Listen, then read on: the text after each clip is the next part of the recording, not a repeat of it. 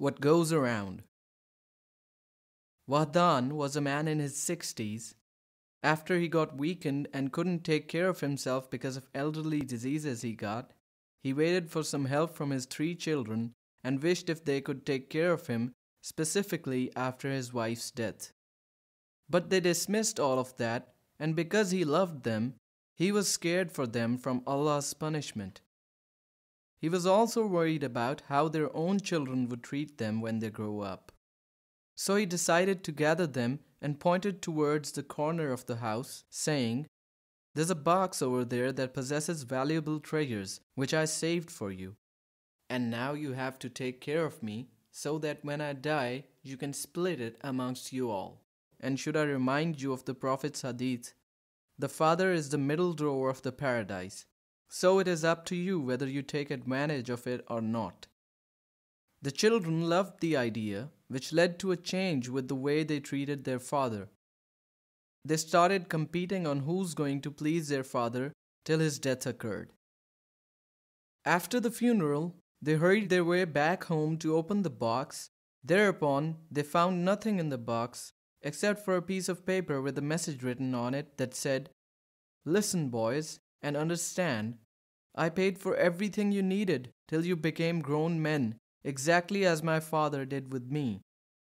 Throughout my journey with you, I have never forgotten about my parents, and I took care of them till they passed away with all the love I had. When I saw the way you were treating me, I was worried about how your own kids would treat you, as I've had my experience and I know all about it. What goes around comes around. That's why I pulled off the treasure trick, so your children could see how good you treated me in the last days, hoping they would do the same with you.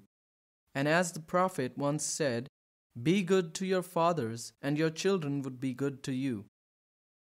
The children were in shock with what they found, and they confessed that their father was right, as they said, our Father taught us a lesson we'll never forget, which is greater than any treasure in the world.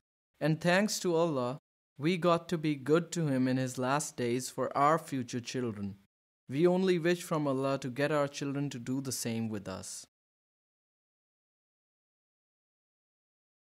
وقضى ربك ألا تعبدوا إلا إياه وبالوالدين إحسانا إما يبلغن عندك الكبر أحدهما أو كلاهما فلا تقل لهما أف ولا تنهرهما وقل لهما قولا كريما واخفض لهما جناح الذل من الرحمة وقل رب ارحمهما كما ربياني صغيراً.